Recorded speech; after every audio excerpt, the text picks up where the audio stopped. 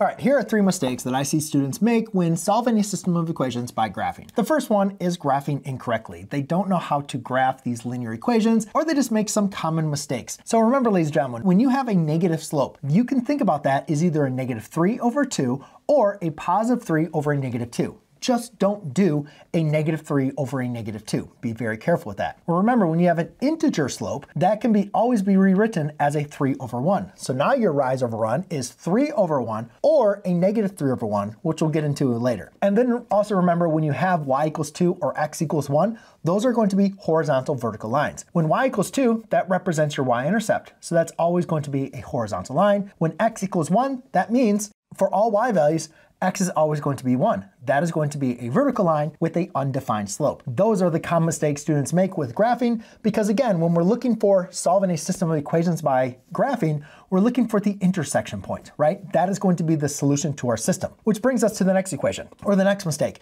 When students want to graph these, they always want to look for that solution to be in the positive, that first quadrant. So what they do is they go ahead and graph a problem like this, and they only go right. They go up to the y-intercept of 2, and they say, all right, I'm going to go up 4 over 3. And then they plot the graph, and then they see this one. They say up 4, 1, 2, 3, 4, and then go up 2 over 1.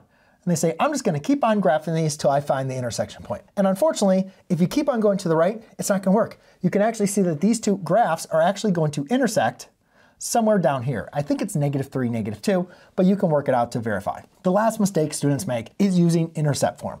I love intercept form when I need to graph a linear equation. Simply set x equal to 0, solve for y, you're going to get a 4.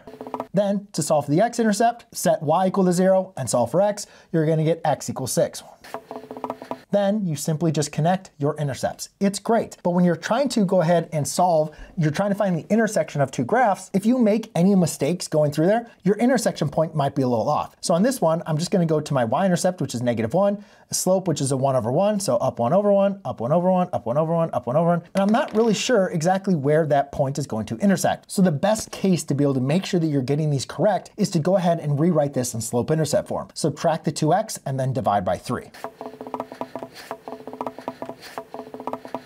Now you can go ahead and find your point, go down two, to the right three, one, two, three, and you can see actually where that intersection point is, which again, I think if I did my scaling right, would be three comma two. But there you go, ladies and gentlemen. Those are the three mistakes that I students make when solving a system of equations by graphing.